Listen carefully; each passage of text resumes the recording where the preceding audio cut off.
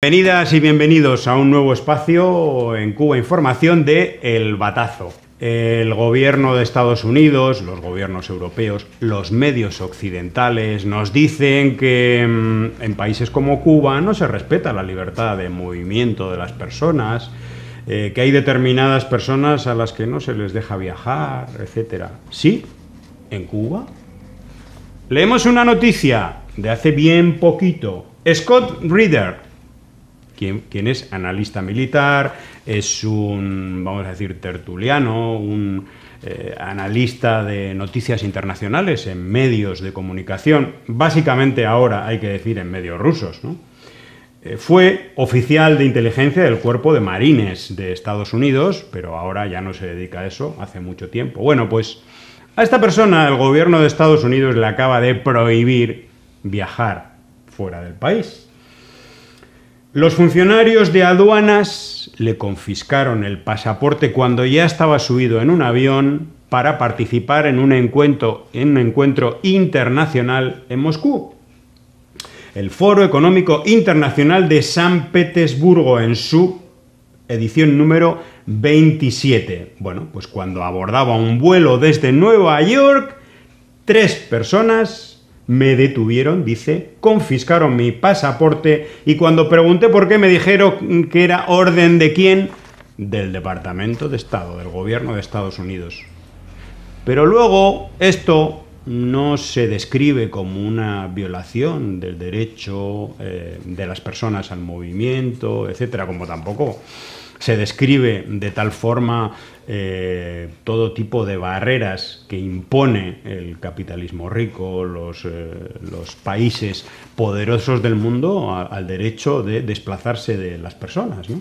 no, eso no. Pero si luego en Cuba deciden que hay determinadas personas que colaboran de manera directa con la guerra que hace el gobierno de Estados Unidos, esa gran superpotencia contra su país, que provoca infinidad de penurias a la población, que trata de socavar la soberanía del país, sus decisiones, con un bloqueo económico genocida, entonces sí, entonces estas personas son víctimas de un Estado totalitario y represor.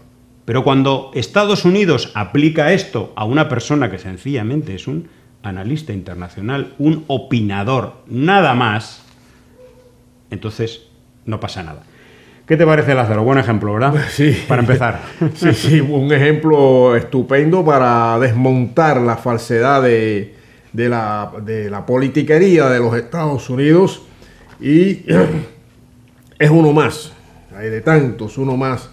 Eh, bueno, ante todo, nuestra felicitación y nuestro cariño a todas las amigas, a todos los amigos que están, que nos ven y que tienen un sentimiento de amor y de solidaridad para con el pueblo cubano y la revolución.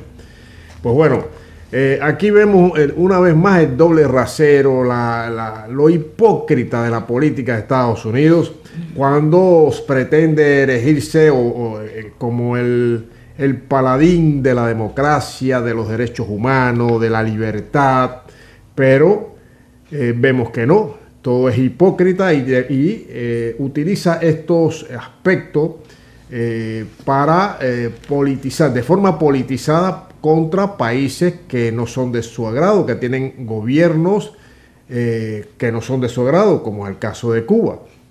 Entonces, ¿qué, ¿qué, autoridad moral puede tener Estados Unidos para etiquetar o para dar consejo o para imponer eh, su modelo de sociedad y de vida a otros pueblos?